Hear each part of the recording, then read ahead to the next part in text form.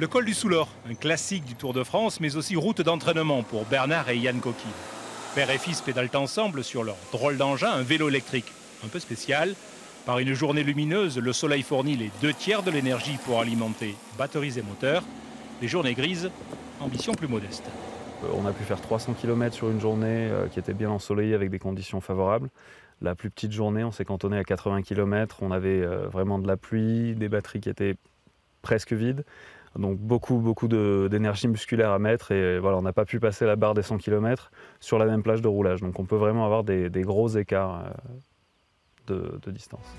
Avec leur tandem, ils ont participé l'été dernier à un raid réservé au vélo solaire, le Sun Trip. La course conduit les coureurs jusqu'en Chine. Bernard avait remporté l'épreuve en 2015. Enseignant à l'IUT de Tarbes, il implique ses élèves dans la fabrication de son vélo. Dans les écoles, il explique aux enfants son périple comme le fonctionnement de sa machine. On est ici, là, la France. Est-ce qu'il y en a un qui peut me montrer la Chine où c'est? Ah, Vélo rime avec écolo. Pour Bernard Coquille, les deux vont de pair. Son tandem solaire, c'est une façon de voir le monde et même de le penser. À condition d'accepter de ne pas aller à des vitesses supersoniques, c'est-à-dire de rester à la vitesse de l'humain, parce que c'est à la vitesse de l'humain qu'on découvre le mieux les paysages, autour de 20 à 30 km/h. Et c'est vraiment l'idéal pour voyager, pour découvrir, pour rencontrer, et puis pour être un petit peu en harmonie avec notre planète qui ne va pas très très bien aujourd'hui. Ou c'est plutôt peut-être l'humanité qui ne va pas très bien, je ne sais pas. Alors tu peux me montrer ce qui recharge les batteries du vélo solaire? Montre-moi pour voir sur le vélo.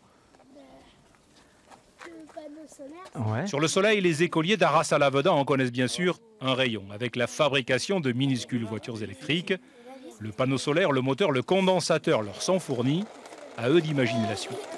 Ça marche euh, avec le panneau solaire qui va, qui va absorber du soleil euh, et qui va l'envoyer dans le moteur, qui va le faire tourner et qui va faire tourner les roues arrière ici. On n'est pas obligé de faire des, voitures euh, polluantes et on peut en faire des électriques qui polluent moins. Leur petit bolide traverse la cour de récréation, des débuts prometteurs pour un voyage scolaire en vélo solaire, bien sûr.